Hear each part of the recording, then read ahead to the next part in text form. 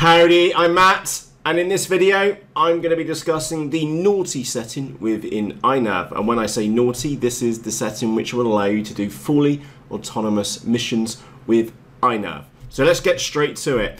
So coming across to the wiki, the setting which you are after is fail-safe mission, and that is the setting which you require to turn off, and I'll explain why in just a moment. So if we look at the documentation, it says if set to off, the fail-safe procedure will won't be triggered, and the mission will continue if the flight controller is in WP uh, waypoint automatic mission mode.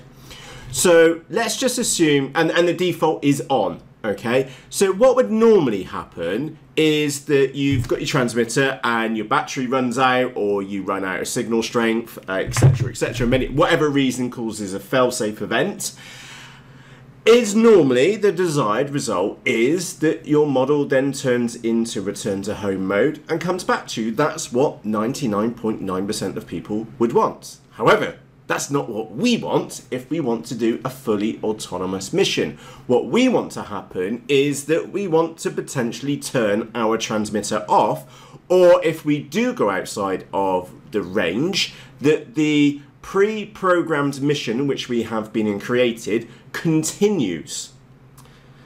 There are other caveats to that, but that's the basic summary. So what we require to do is to turn the fail-safe mission to off. So let's look at the code for this. And in the iNav code, is again one of the great things about open source, is that we can actually see what the code is going on.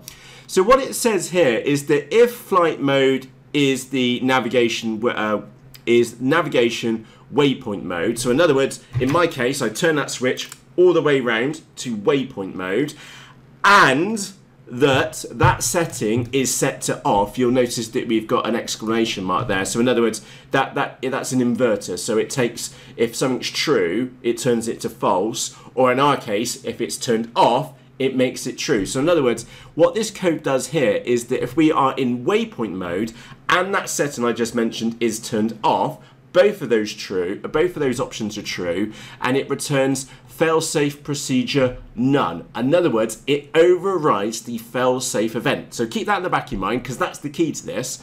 So what you would need to do is nip into the CLI tab and you go in here and then type and then you'll notice that uh, if I click up, so I don't, I can never remember which one it is. So I'm just going to type in get fail-safe M and we've got three options and there it is mission so what we would do and you'll notice mine's already off uh, we would click type, type in set failsafe mission equals off, hit enter, and then type in save, and then hit enter, and then the flight controller, as we've just heard, will reboot in the background.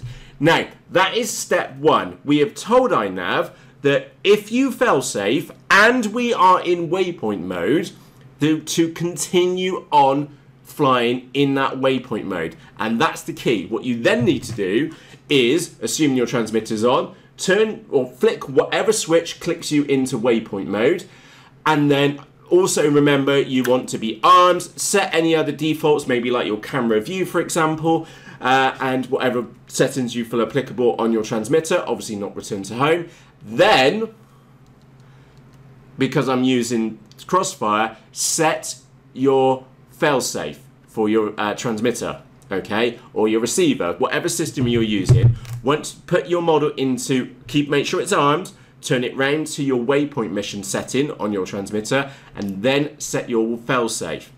Now, obviously, you want to go and test this in a safe environment. So what I would suggest to do is the next time you go flying or when you're on the flight line, make sure you set that setting off create a very simple mission. So in other words, just a circuit around the field where you fly. Okay, keep it super safe.